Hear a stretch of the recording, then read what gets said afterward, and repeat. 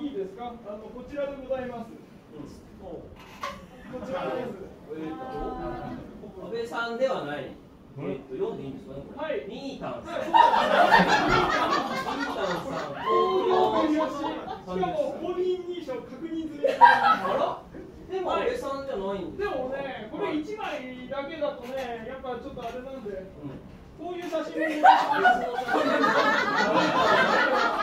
所で撮った別の角度の写真。確か僕はあの丸山レイヤというね、はいこの後出てきますけども、はいその芸人さんがまあ既婚者で結婚式の時確かこのような格好をして足感がちょっとあって、でもミータンだもんね。でもですね、ただ写真だけじゃね、うちょっとわかんないじゃないですん。わか。からない。ちょっとプロフィールを見てみましょうか、プはいロフィールを。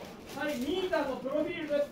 はい、まあ、確実、えー、年収は300万円未満。うんはい、ここはえーはい、そうですね。で、お酒、まあ、この人よく飲む。うん。ええで、まあ、結婚歴独身という。うんただ、一番注目したいのはですね。なんでしょう結婚に対する意思がすぐにでもしたい。安倍さんじゃなくてミータンはそうミータン、ミータンさんですよミねー。タンがそうなんですよね。うんミータンがそうだから。ええでも結婚はしたいすぐしたいよ。今日するもん。あ、じゃあちょうどよかったは。僕まあね、もしこういうね、あのミータンさんと結婚できるかなと思って、いつもですね、あの婚姻届を持って。ち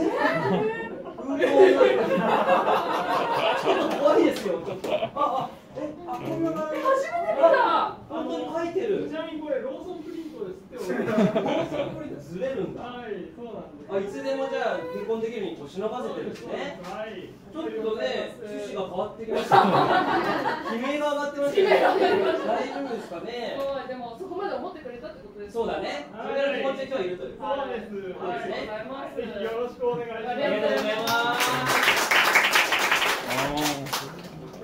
えてましたけど、はい大丈夫びっくりしましたびっくりしましたね。はいまあ、ミータンがあじゃん。えっと、安倍さん